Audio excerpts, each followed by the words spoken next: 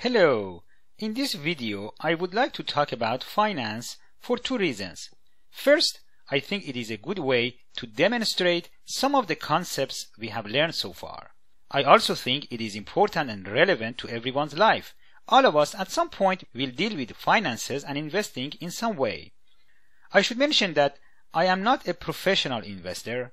While I was getting my MBA, my focus was mostly in finance.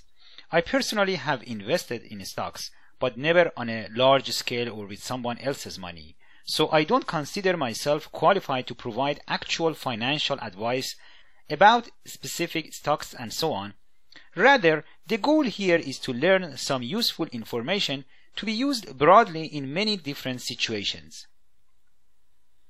Okay, in the last video, we discussed managed funds when people invest large sums of money for other people. Interestingly, these people are on average not able to outperform the market. This may sound surprising to us because we would expect professionals to be able to do this. The reason for this can be explained by the efficient market hypothesis, which roughly states that it is almost impossible to beat the market on a consistent basis. This is because any information that becomes available about that stock or that company will immediately be priced in to the stock value. In other words, the price already reflects all the available information on that stock. Of course, once in a while someone may have good luck and beat the market, but the point here is that it is almost impossible to consistently beat the market.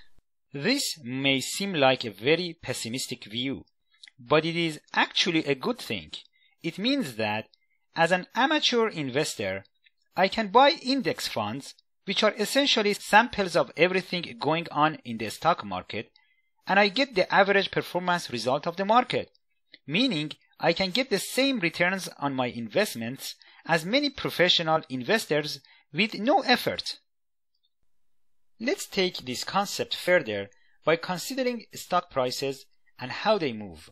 Here I would like to briefly introduce a famous model for stock price movements. It is called the geometric Brownian motion, or as I call it, the coin toss model. It's probably the most famous model for stock prices, and it can be related back to our discussion of randomness and coin tosses. Basically, the geometric Brownian motion values the prices of stocks based on very, very small increments of time, say every tenth of a second. With each time increment, the price either goes up or down by a small percentage, similar to getting either a heads or a tails when flipping a coin.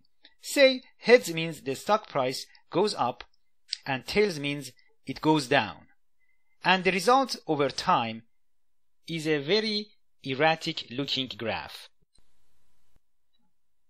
It might be surprising to you that the most famous model for stock prices is mostly based on a simple coin toss.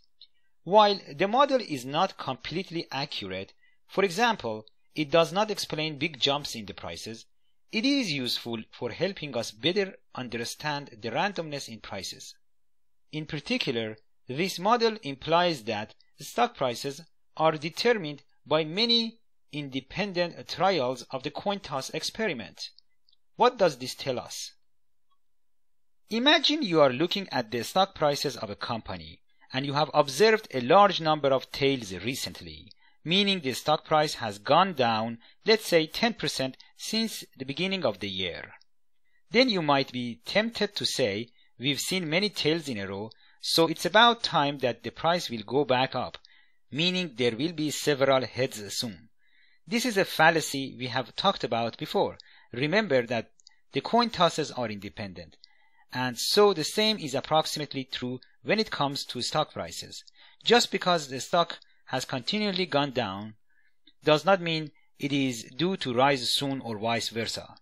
This somehow shows why it is very difficult, nearly impossible, to time the market or to figure out when the stock will go up. Many things are at work when analyzing stocks. The narrative fallacy and the hindsight bias, for example. They can make us think that we can predict the stocks, but in reality we cannot. How can we use this information? Firstly, for the average casual investor in stocks, it is good to keep the coin toss model in mind when investing. Simply think of the stock movements as coin tosses. I am not saying that this model is completely accurate and perfect, but by having this kind of view as an amateur investor, you are reducing your chance of losing a lot of money. A lot of people think they can predict the market and end up losing quite a bit of money. Just because you can't predict the market doesn't mean you can't still benefit from investing in stocks.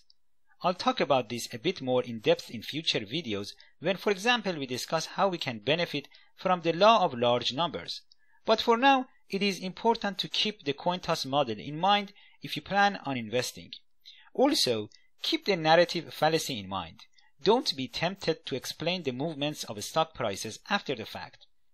By doing these two simple things, hopefully we would be able to not only avoid losing our money, but perhaps after some time get some financial return from our investing.